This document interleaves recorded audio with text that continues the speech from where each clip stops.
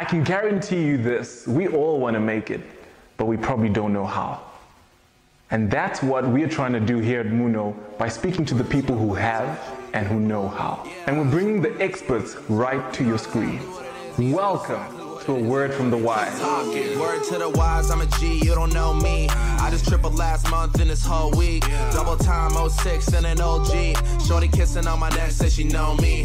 Yeah.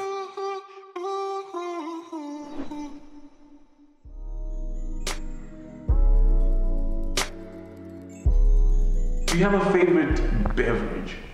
Favorite beverage? Right, because then this beverage, if you have a favorite beverage, how which one which one would be that best describes you? Oh, okay, okay. What what beverage would describe me, right? Yeah.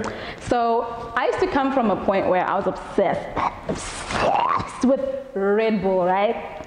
So I got my life, my energy because and it, like I feel like Red Bull um, is has a very intense sweet taste to it, but without being overwhelming.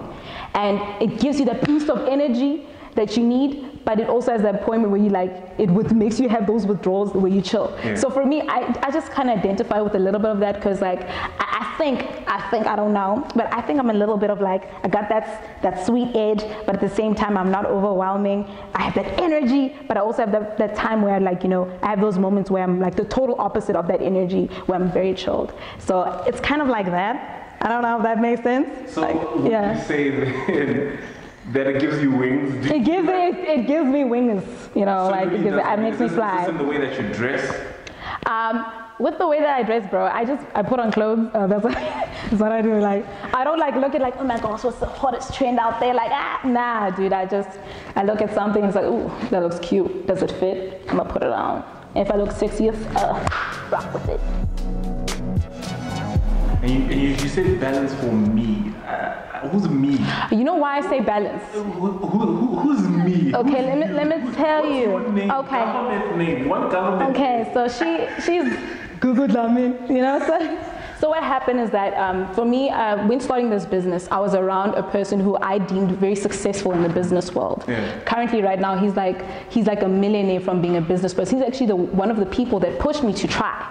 And um, his work ethic in the beginning, not the beginning, in the beginning was that he would work tirelessly every day, and he would tell me like, Gugu, when you're in business, you gotta work. You gotta work, and, and you must never, you must be hanging out. Don't hang out with nobody. Just work. So for me, getting into the business naively, that's the only frame of reference of what a person in business should do. So I realized that he only operated like that because he came from a background where he had no other alternative. He knew that if he stopped at any point, he would have to go back to an environment where he didn't wish to be because that's where he saw his peers die, where dreams just died in, the, in the, like in that in that realm. Yeah. And his work ethic was that if I work hard enough 24/7, I'll be able to win my freedom. And that's his story, but that's not my story. And I tried to take those um, lessons and put them in my life, and then I realized that I was killing myself because I wasn't operating in an element that was healthy for myself. That's why.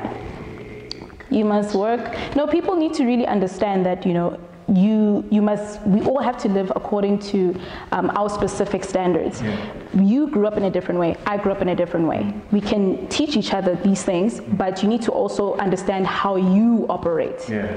and um, what people do is that they take on other people's um, methods of doing things without trying to figure out where they fit in in that space so don't do that guys don't be me be better Be Yeah. better. Hectic. Be better. Be better. Did you hear that? Don't be, be better. I thoroughly enjoyed that and I hope you did too. And so stay tuned for the full video at the end of the week.